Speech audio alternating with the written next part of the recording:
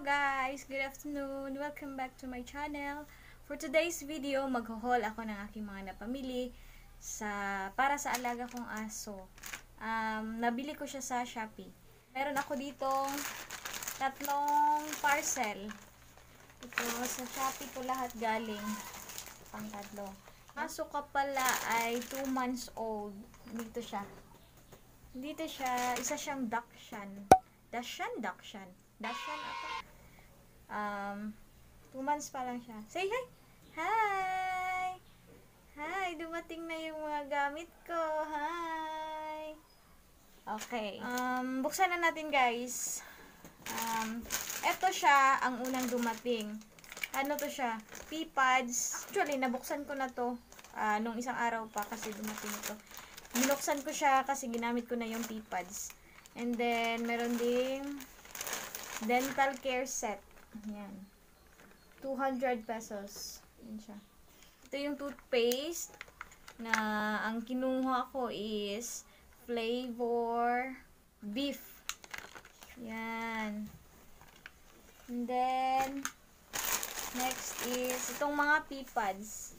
Next is sa last na ito siya. Um, puppy training spray. Fast and effective discipline. Yan. Biolin. Biolin? Bioline. Bioline. So, done na tayo dito. Dito tayo sa next parcel. Ito siya. Ah, open natin siya. Let's open it.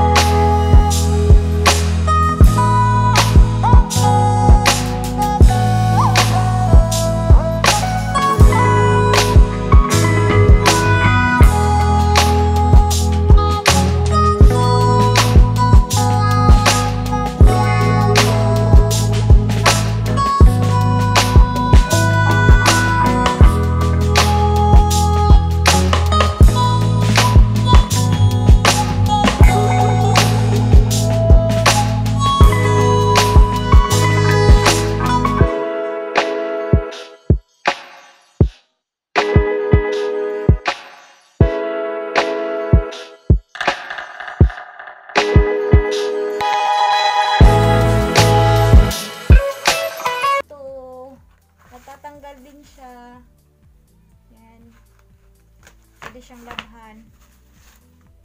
Hindi ko alam kung ano pangalan nito. Yan. Ito, bola. Tennis ball.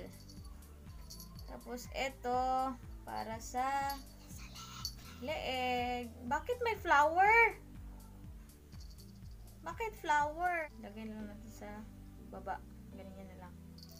Yan. Um, yun lang guys. Thank you so much for watching. All, na.